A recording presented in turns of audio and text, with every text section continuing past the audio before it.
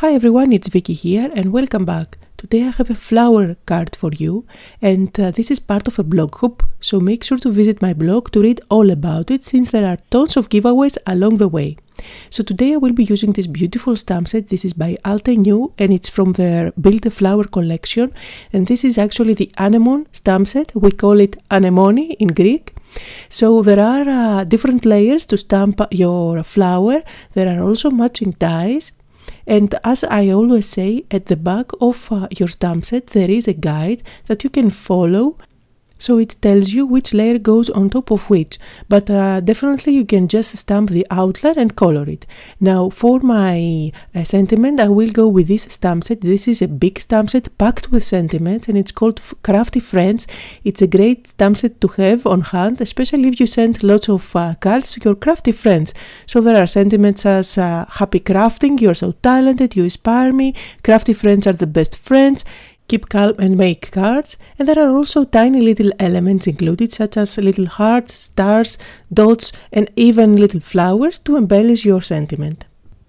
For my card I will need more than one flower and leaves so I'm uh, going to use my stamping platform just to make my life easier.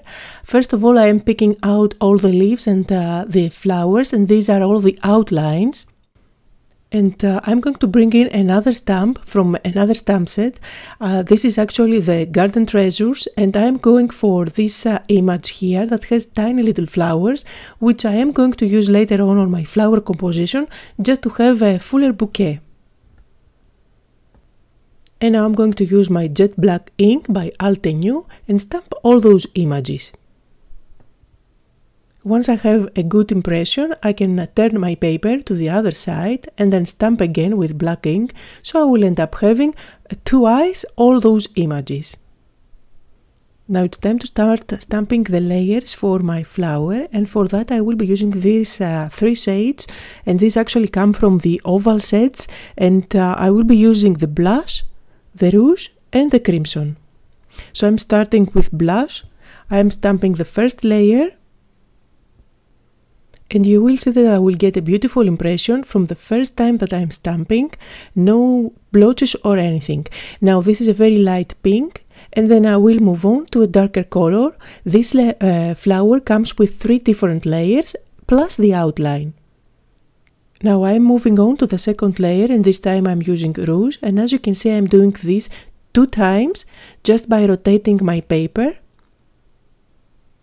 so I'm going to rotate the paper here to get uh, the second layer on the second flower and then I will continue with the third layer. So here I'm using the darker of uh, the colors that I have chosen, then that's crimson.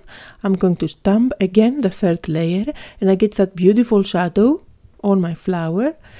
Now I will uh, repeat the same process by placing uh, all the layers on top of my leaves. There are actually only two layers for the leaves and um, I used inks from the oval sets that are called green fields.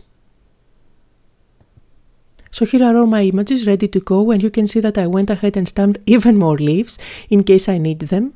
And now since I have uh, stamped that uh, filler uh, flower at the middle that doesn't have any layers at all, I'm going to use uh, one of my alcohol markers by Altenew and I'm just going to color the little leaves there. I'm not going to add any color on the flowers since I like them as they are, white.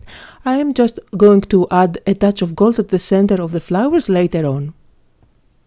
For the anemone there are two layers for the center of the flowers which I will not bother to stamp with my stamping platform. This is way easier. So I'm going to stamp at the center with uh, warm sunshine and there is one more layer stamp for the center that adds little dots around the center on top of that those black dots. So instead of uh, stamping with yellow which will not make a lot of difference uh, to tell you the truth I decided to go ahead and stamp that with Versamark ink and then I'm going to apply embossing powder in gold. The embossing powder I'm using is by Altenew it's an embossing powder that has become my favorite these days. It doesn't have glitter, but it has a beautiful shine and it's called Antique Gold. For the centers of uh, the tiny little white flowers, I'm going to use an embossing pen. I'm going to add a dot at each one of the centers. and then the embossing powder is going to stick there. That's by Wow by the way.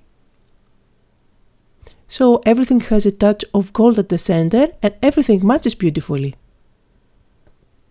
And now finally I'm going to use my heat gun to melt the embossing powder and I will use the matching dies to cut out all the images, the leaves, the flowers, everything. So here I have all the leaves and my flowers ready to go and I have this frame that is a leftover from a previous card that I shared I think on uh, Friday and uh, I have some uh, foam tape at the back which I am going to remove the backing so that I can stick it on top of a white card base. The card base that I am using is a standard card that's four and a quarter by five and a half.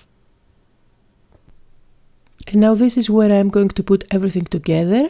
For one of the flowers I'm adding uh, foam tape at the back while on the other I'm adding uh, some tape adhesive directly. So this way I am creating different layers on, on my card. Now I'm going to chop off one of the sides from this flower since I want it tucked in underneath the um, frame but the other flower is going to lay just on top of it and it's going to come outside of the frame. I'm using Altenew tape adhesive and I love that, especially when I'm creating uh, things like that where I have many pieces and uh, I don't know from the beginning where everything is going to go. Just because this tape uh, adhesive is actually very forgiving.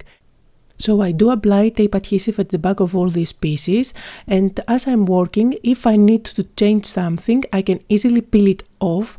But remember, don't uh, apply any pressure when you are uh, putting all those uh, pieces.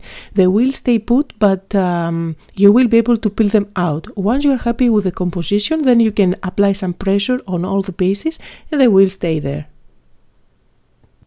I'm going to stick the last uh, leaves at the bottom of my uh, card just to fill in that space there.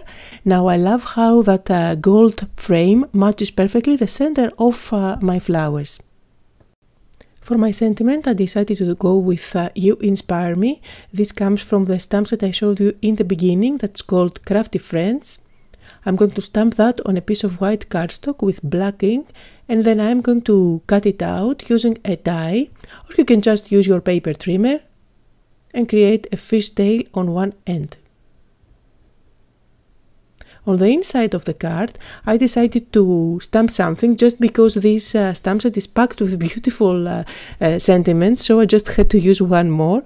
And uh, I went with the one that says, I love everything you create, keep up the great work. So I think this is a beautiful card to send to any of your crafting friends that really inspire you now I rarely do something on the inside of my cards, but even when I stamp something, just like with this card, I always like to stamp it towards the top so I have enough space underneath to write my note. I am going to stick the sentiment on top of my card and I'm going to finish it off by adding some golden dots using my Nuvo drops. And that was the card for today, so I hope you had fun and got inspired. Don't forget that this is a part of a blog hop with lots of inspiration and tons of giveaways, so make sure to visit my blog to learn all about it. Thank you all for watching and see you next time.